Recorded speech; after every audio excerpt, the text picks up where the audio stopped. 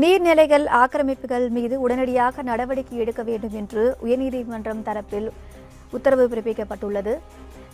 இது குறித்தான விரிவான தகவலை பதிவு செய்வதற்காக செய்தியாளர் மகேஸ்வரி நம்மோடு இணைந்திருக்கிறார். வணக்கம் மகேஸ்வரி. உயர்நீதிமன்றம் பிறப்பித்துள்ள இந்த உத்தரவு குறித்தான விரிவான தகவலை பதிவு பண்ணுங்க. சஞ்சனா நீர்நிலைகள் ஆக்கிரமிப்புகள் மீது உடனடியாக நடவடிக்கை எடுக்க வேண்டும் என்று ஆஹ், மழை மற்றும் வெள்ளம் அதிகாரிகளுக்கு மீண்டும் இந்த ஒரு பாடத்தை கற்பித்துள்ளதாகவும் தற்போது சென்னை உயர்நீதிமன்றமானது தெரிவித்துள்ளது.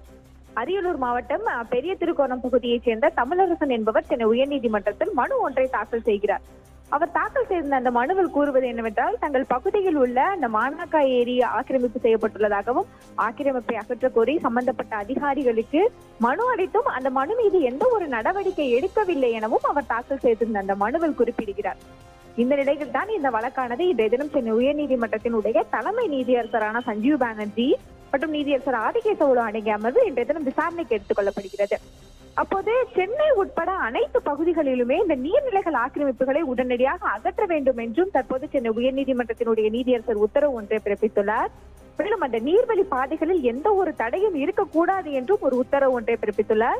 மேலும் வெ- அந்த வெள்ளம் வடிய அனுமதிக்கப்பட வேண்டும் என்றும் சென்னை மக்கள் பாதி நாட்களாக அந்த தண்ணீருக்கு சாவதாகவும் மீதி நாட்கள் தண்ணீரில் சாவதாகவும் வேதனை ஒன்றையும் தலைமை நீதியரசர் அவர்கள் தெரிவித்துள்ளார்.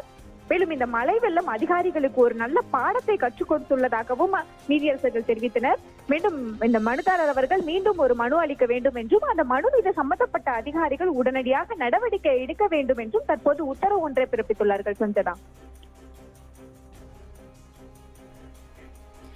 மகேஸ்வரி விவரங்களுக்கு நன்றி.